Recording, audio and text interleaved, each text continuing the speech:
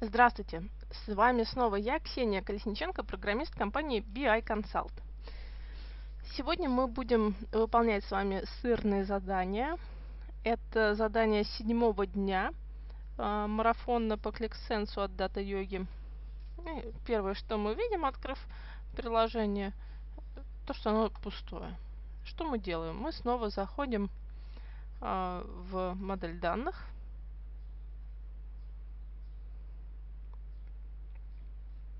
видим, что у нас существует такая табличка э, с перечнем названий. Если у кого-то предварительный просмотр сразу же не открывается, да, а, просто ткните, он должен быть в левом ни нижнем углу. И вы увидите, что вот у нас такая табличка, где имеются ID продукта, дата его продажи, сумма продажи и так далее.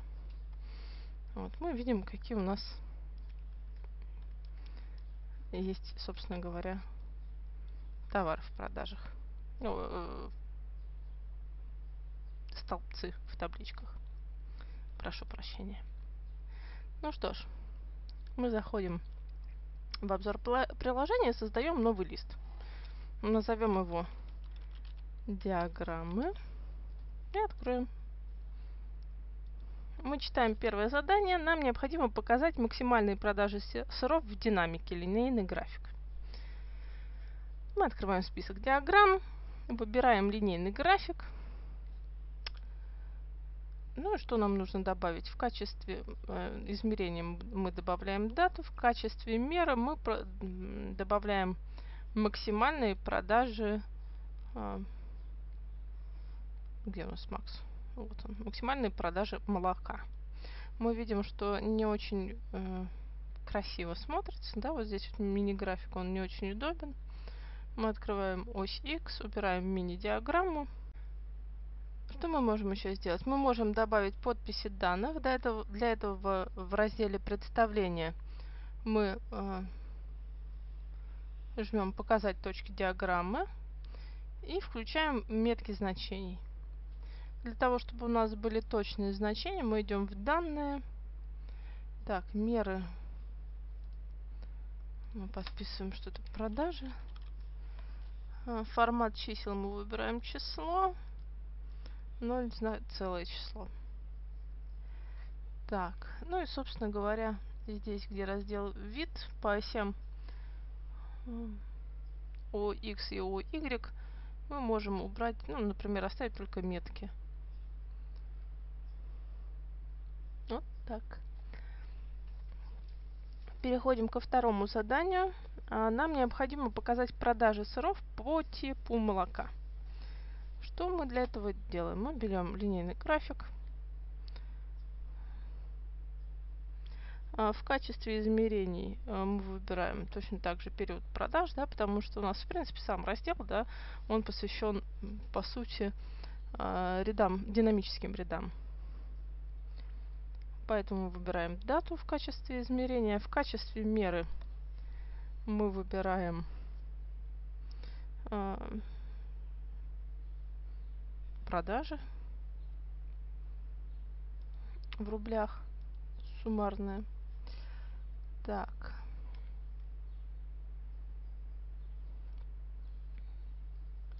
Также мы добавляем тип молока.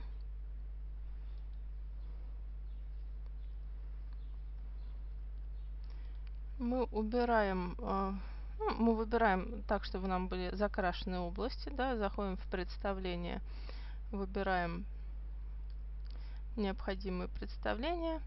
А в оси OX мы убираем мини-диаграмму. Так, и мы добавляем э, подписи данных. Так, Э, выбираем метки значений, прошу прощения. Так, мы снова выбираем, что видны только метки. На оси Y у нас тоже будут видны только метки.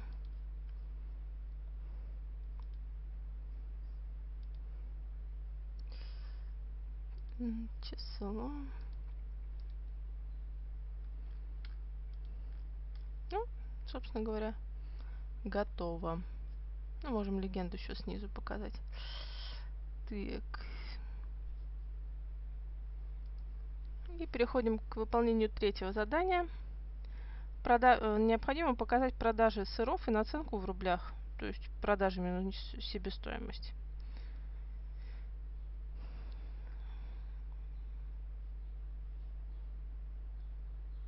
Мы выбираем комбинированную диаграмму. В качестве измерения у нас снова идет дата. В качестве мер у нас идет а, первая мера это продажа. В качестве в рублях в качестве второй меры у нас идет а, себестоимость. Да, то есть это сумма всех продаж минус сумма себестойки.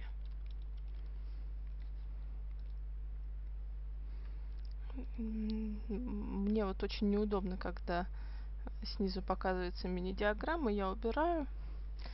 А, так, давайте подпишем данные. А, здесь у нас продажи, это продажи. Оп продажи. Это продажа. А прибыль это прибыль. В качестве линии она у нас идет. Мы идем на вкладочку вид. А, в разделе представления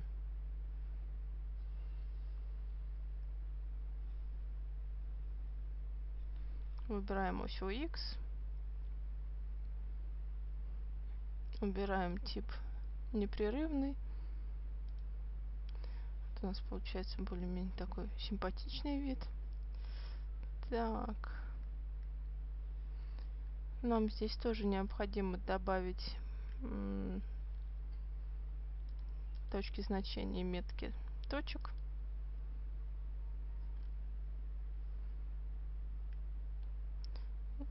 Легенду мы показываем тоже здесь снизу. А данные у нас будут числовыми.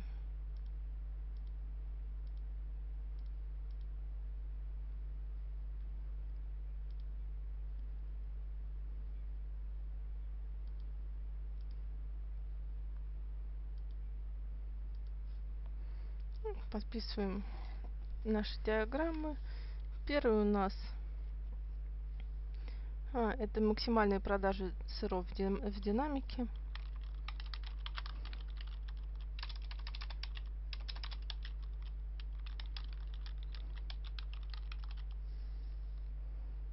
Следующее это продажи сыров по типу молока.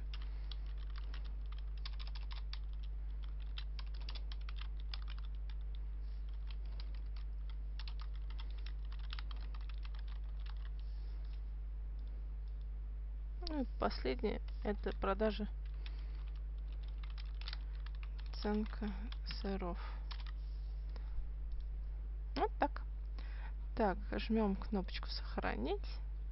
Готово. И вот мы видим, какие у нас получились замечательные диаграммы.